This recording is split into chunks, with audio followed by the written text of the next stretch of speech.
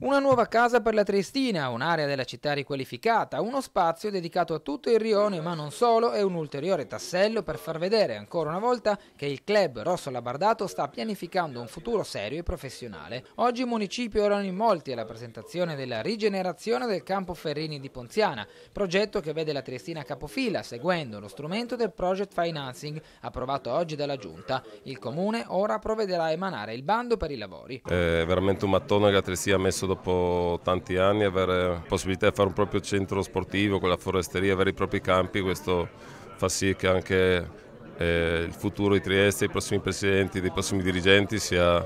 sia diverso, insomma, da quando io mi allenavo a Turiaco, al villaggio del pescatore a Visogliano, insomma, avere una propria struttura eh, in più Grezzar, magari per la prima squadra, ci facilita sicuramente le cose, ci dà anche tanta aggregazione, tanto tanta voglia di investire su Trieste. Ringrazio Mario per gli investimenti che sta facendo, ringrazio anche l'amministrazione comunale. Oltre 4 milioni e mezzo di euro stanziati, di cui 1,2 finanziati dalla Regione, per due fasi di progetto, la prima per la riqualificazione del perimetro esistente con campo, spogliatoi e bar tirati a nuovo, poi la realizzazione di nuove strutture che saranno il quartier generale dell'Unione. La fase 1 inizierà a ottobre per concludersi a gennaio o febbraio del prossimo anno con la consegna del campo a 11. Per la fase 2 invece ci vorrà ancora un po' di tempo. Il progetto, come si dicevamo prima si compone di due fasi eh, meramente differenziate per una questione urbanistica perché la fase numero uno che è la ristrutturazione del campo esistente a 11 eh, che avrà anche una tracciatura delle righe per due campo a 7